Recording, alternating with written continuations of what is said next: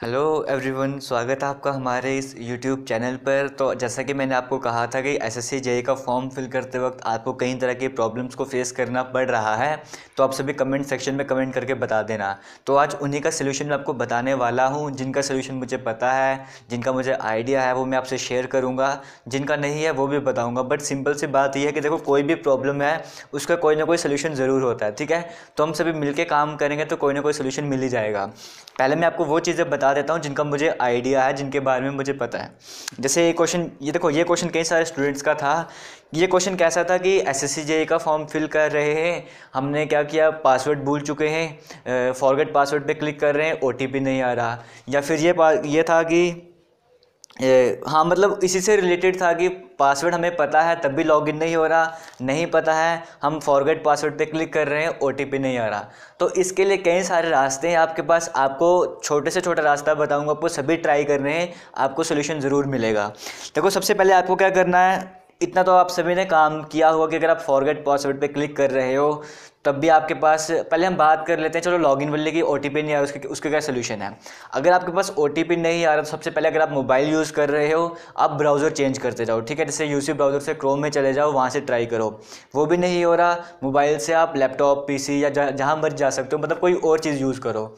ये भी सोल्यूशन अगर इससे भी आपको सोल्यूशन नहीं मिल रहा, फिर आपको क्या करना है देखो, आप जब वो करते हो ना फॉरगेट पासवर्ड तो वहाँ पे सामने आता है कि ईमेल आईडी फिलअप करो या फिर फ़ोन नंबर फिलअप करो।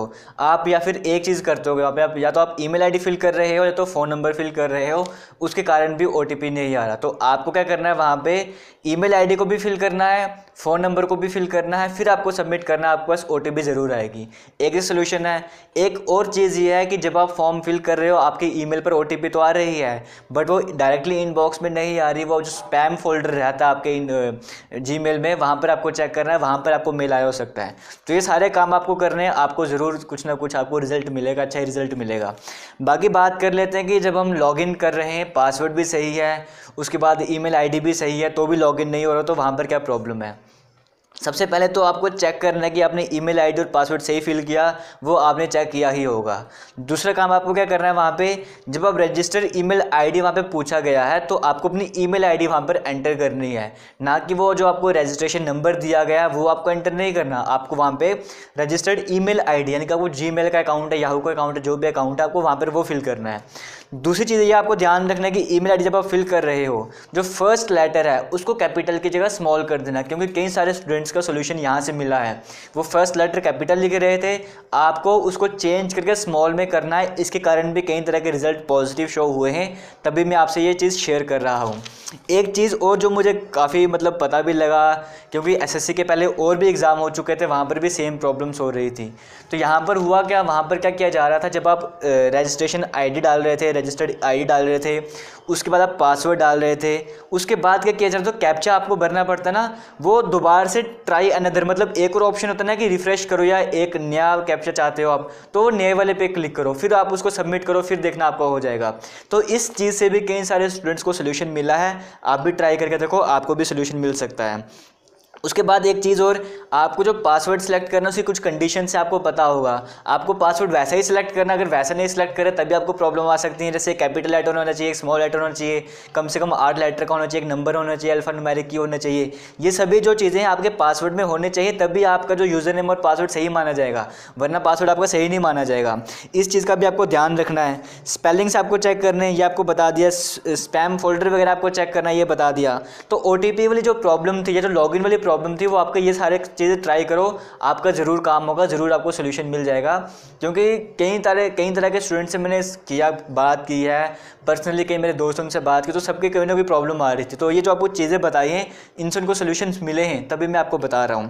मुझे किसे सोल्यूशन मिला था? मैंने क्या किया था? ईमेल आईडी और जो मोबाइल नंबर दोनों सबमिट किए थे ओ टी के लिए वो ऑप्शन आता ना, या तो ईमेल आईडी भरो या फ़ोन नंबर भरो मैंने दोनों काम किए थे। ईमेल आईडी को भी फिल किया था फ़ोन नंबर को भी फिल किया था, मेरे नंबर पर, उसके बाद ओ आया था, ठीक है?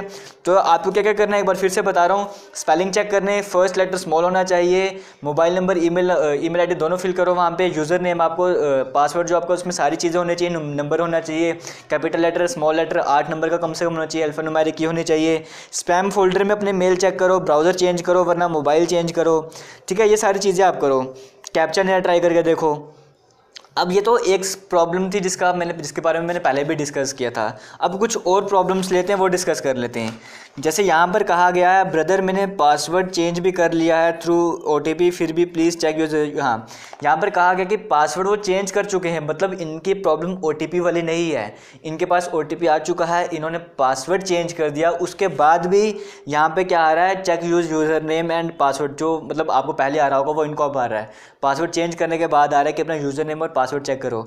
तो इनको मैं एक ही चीज़ सजेस्ट करूँगा कि आप वही काम करो जो आप ईमेल आईडी वहाँ पे फिल कर रहे हो, उसका फ़र्स्ट लाइटर देखो आप। अगर वो कैपिटल है तो उसे स्मॉल कर दो। इस चीज़ का ध्यान रखो। दूसरी बात आप ये ध्यान रखो पासवर्ड देखो अपने पासवर्ड जो कंडीशंस रखी गई है वहाँ पे।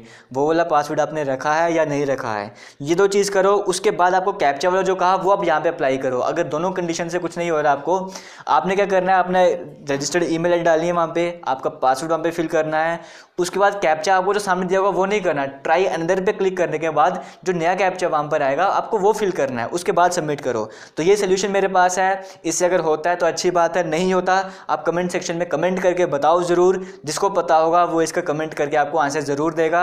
मुझे कुछ देर में पता लग जाएगा तो मैं कमेंट में आपको रिप्लाई ज़रूर करूँगा। क्योंकि अभी आपके पास टाइम कम है, इसलिए मैंने आज सोचा कि आज इनका रिप्लाई कर देता हूँ, वरना मैंने कुछ दिनों बाद रिप्लाई करना था। ठीक है? तो कमेंट सेक्शन में अगर इनके जो सोल्यूशंस बताए, इनके बाद भी कुछ नहीं हो रहा, आप ज़रूर कमेंट सेक्शन में कमेंट करें, ठीक है? पार्टिसिपेट करोगे, तब भी हम कुछ मिलकर तो काम करेंगे वहाँ पे। और जिसको कुछ प्रॉब्लम सॉल्व हो चुकी हैं, वो भी प्लीज़ मेंशन करना कि हाँ मैंने ये काम किया तो इससे मेरी ये वाली प्रॉब्लम सॉल्व हो चुकी है। फिर उसके बाद आ रहा है कि अगर थंब इम्प्रेशन नहीं किया और फॉर्म सबमिट हो गया तो क्या उसे कोई प्रॉब्लम होगी? देखो थंब इम्प्रेशन उन्हीं उन्हीं के लिए ज़रूरी था जिन्होंने अपना आधार कार्ड नहीं डाला था वहाँ पे। जैसे जिसने आधार कार्ड जब रजिस्ट्रेशन आप कर रहे थे, आधार कार्ड वहाँ पे मांगा गया था। अगर आप आधार कार्ड की डिटेल्स वहाँ पर दे रहे हो तो आपको थंब इम्प्रेशन की ज़रूरत नहीं है, वहाँ पे कोई प्रॉब्लम नहीं। अगर आपने वहाँ पर आधार कार्ड नहीं दिया, कोई और आईडी दी अपनी, जैसे आपने वोटर कार्ड दे दिया, आपने पैन कार्ड दे दिया, इस तरह की चीज़ें अगर आपने सामने रखी हैं तो आपके लिए थंब इम्प्रेशन ज़रूरी था।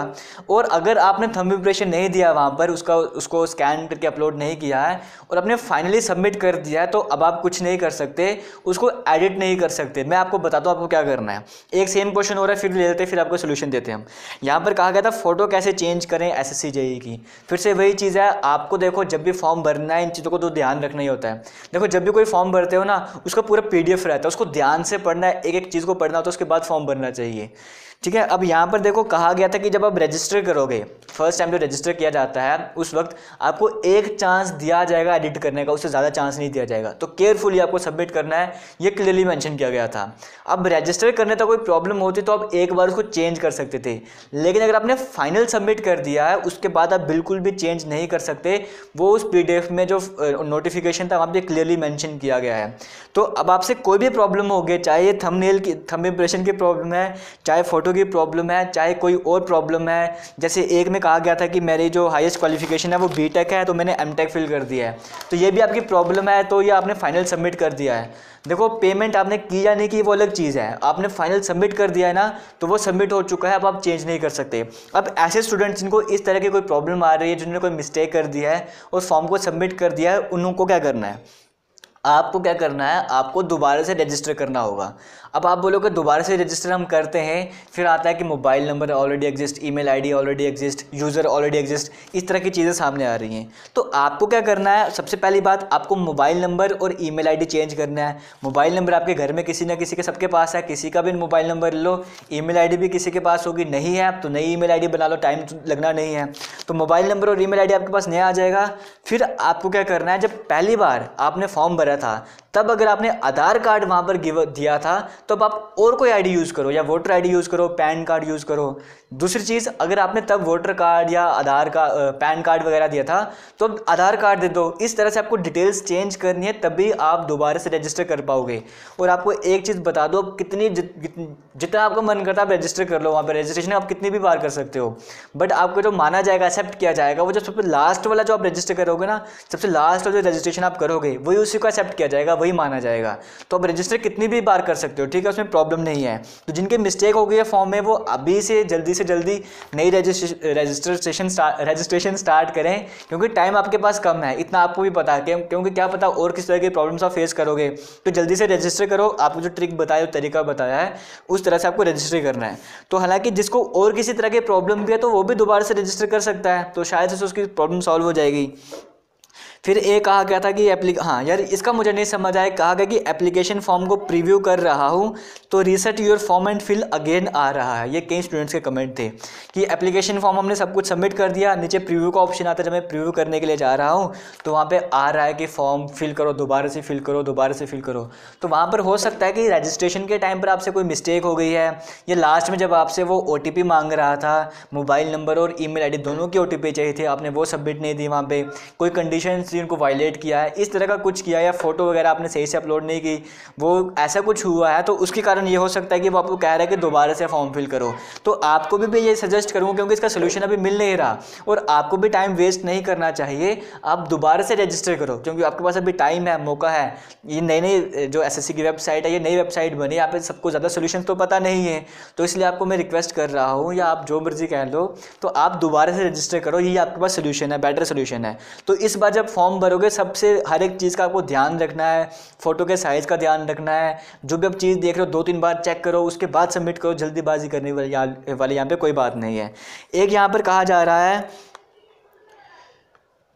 अच्छा एक यहाँ पर कहा गया कि पेमेंट वगैरह कर लिया मतलब मैंने पेमेंट भी कर लिया, उसके बाद यूपीआई से पेमेंट किया। देखो पेमेंट जहाँ मर्ज़ी से करो उसके बाद आप कह रहे हो कि फॉर्म जो मैंने फिल कर दिया, उसका प्रिंट देख रहा हूँ प्रीव्यू कर रहा हूँ लास्ट में तो उसमें जहाँ पे वो सेक्शन है जहाँ पे पेमेंट के बारे में बताया जाता है, वो ब्लैंक शो हो रहा है। ये कहा गया। तो देखो, आपको वेट करना होगा इसके लिए। तीन से चार दिन कम से कम वेट करो आप। आपने कहा शायद दो दिन वेट किया, तीन से चार दिन वेट करो।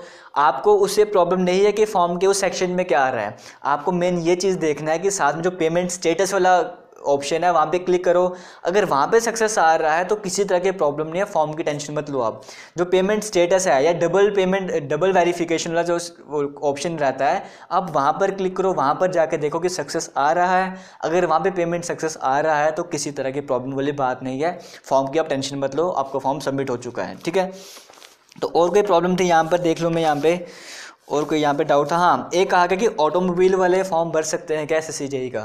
देखो ऑफिशियल नोटिफिकेशन में क्लियरली मेंशन किया गया मैकेनिकल इलेक्ट्रिकल इस तरह से सिविल इंजीनियरिंग ब्रांच को मेंशन किया गया। वहाँ पे कहा नहीं गया डिप्लोमा के लिए सॉरी ऑटोमोबाइल के लिए कि वो एलिजिबल हैं या नहीं बट लास्ट टाइम ऑटोमोबाइल वाले जो थे ऑटोमोबाइल का हो ऑटोमोबाइल का हो वो क्या कर रहे थे मैकेनिकल के थ्रू अप्लाई कर सकते थे। इस बार क्लियरली मैंशन नहीं किया गया है। तो हाँ अगर आप ऑटोमोबाइल वाले सेक्टर से बिलोंग करते हो, उस ऑटोमोबाइल इंजीनियरिंग के स्टूडेंट हो तो आप मैकेनिकल वाली तरफ़ से आप जो मैकेनिकल की पोस्ट है, उसके लिए आप अप्लाई कर लो। बाद में देखा जाएगा क्या होता है। बट अभी आप अगर छोड़ दोगे तो बाद में भी कोई सोल्यूशन नहीं मिलेगा, क्योंकि ऑफिशियल नोटिफिकेशन आ चुका है। दोबारा तो आएगा नहीं। तो आप ऑटोमोबाइल वाले जो स्टूडेंट्स हैं, वो मैकेनिकल में एक बार फॉर्म सबमिट करके देख लो। सौ रुपये की बात है, इसमें ज़्यादा बड़ी बात नहीं कोई, ठीक है? तो वो आप कर सकते हो। उसके बाद आ गया आफ्टर रजिस्ट्रेशन जब न्यू पासवर्ड सेट करता हूँ, वो सबमिट नहीं हो रहा है। तो फिर से वही बात है कि आपने पासवर्ड जो है वो शायद से वो कंडीशन जो आपको मैंने बताया, वो सारी चीज़ें वहाँ पे इंक्लूड नहीं की हैं। आप जो वहाँ पे यूज़र नेम डाल रहे हो रजिस्टर ईमेल आईडी डाल रहे हो, उसका फ़र्स्ट लेटर कैपिटल होगा। इस तरह की चीज़ें करो, फिर उसके बाद जो कैप्चा है, उसको नया करके देखो। ट्राई अनदर पे क्लिक करके जो नया कैप्चा आएगा, वो फिल करो। इस तरह के काम करो तो आपको भी सोल्यूशन मिल सकता है, ठीक है? तो ये कुछ क्वेश्चन थे, बाकी ज़्यादा क्वेश्चन तो आए नहीं। हाँ डेट ऑफ़ बर्थ में एक स्टूडेंट का आया यार, इसको इसका किसी को पता हो तो प्लीज़ रिप्लाई कर देना ज़रूर कि डेट ऑफ़ बर्थ में प्रॉब्लम आ रही है, जो भी अपेयरिंग वाले स्टूडेंट्स उनको ये प्रॉब्लम आ रही है। मतलब कि डेट ऑफ़ बर्थ तो ठीक है eighteen point four but age relaxation code मांगा जा रहा है वहाँ पे। तो यार, इसका क्या फंडा है, ये मुझे कुछ समझ नहीं आया, ये आप बाकियों से डिस्कस करो कमेंट सेक्शन में कमेंट करके स्टूडेंट्स बता देंगे, जिनको इनके बारे में पता है। तो लास्ट रिक्वेस्ट है, इस वीडियो को शेयर ज़रूर करना, क्योंकि किसी की हेल्प की बात है ये, किसी की हेल्प हो जाएगी। और इसका दूसरा बेनिफिट दूसरी चीज़ आपसे ये कह रहा हूँ कि जिसको भी सोल्यूशन मिल चुका है, देखो, अगर आपको सोल्यूशन मिल चुका है आपकी प्रॉब्लम का, अगर आप इस जो मैं आपको तरीके बताए से आपका काम हो रहा है तो प्लीज़ कमेंट सेक्शन में कमेंट करके ज़रूर बताना, ठीक है? क्योंकि आप अगर आपको हेल्प मिल रही है तो आपका भी फ़र्ज़ बनता है कि आप दूसरों की हेल्प करो। तो आपको भी किसी सोर्स से कोई इन्फॉर्मेशन मिलती है तो यहाँ पे कमेंट सेक्शन में ज़रूर शेयर करना, क्योंकि सबको यार टाइम लिमिटेड आपको पता, सबने फॉर्म भरना है, ठीक है? तो किसी भी तरह का डाउट आप कमेंट करके पूछ लेना।